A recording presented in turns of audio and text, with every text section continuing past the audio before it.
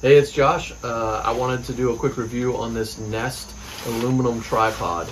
So it comes in this nice bag and uh, the tripod is very lightweight, but it's quite sturdy actually. It also comes with this phone holder, which goes right in the top. Fastens in there and it does fit my iPhone 12 Pro, no problem, which is always a concern. So that fits on there. And there's a hot shoe, or a cold shoe, excuse me, cold shoe on the top as well, which comes in very handy for my uh, audio receiver, which I often use on here. So you can see that. And I've actually got this thing on backwards, so we'll flip it around.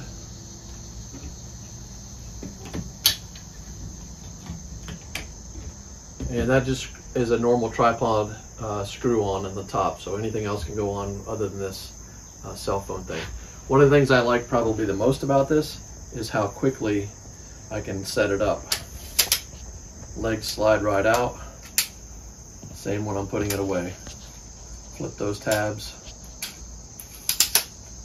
and I'm back to put away.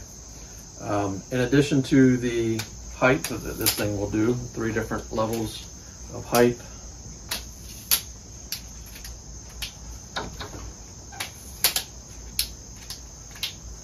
You can also pan, tilt, can flip it up on its side just like a, any other tripod that you would normally get. And then it's got this additional height here. So this is the model NT510. I've been very happy with it. One thing when you're putting it away, just make sure that you guide that back in. That's the only challenge there. It does have a bubble here so you can level it. And uh, overall, uh, this is a really nice, very compact, yet stable tripod. I haven't tried it with my uh, Canon D6, which I think on the Amazon uh, page it shows using that at the lowest setting. Um, it's a pretty heavy camera, about six pounds, so I think I'm just going to stick this one with my GoPro and my phone, which both work great. So yeah, very happy with the, uh, the size, the weight, how compact it is, and how easily it goes uh, back into uh, the carrying bag. And then it also comes with a remote, a remote shutter, and this uses an app.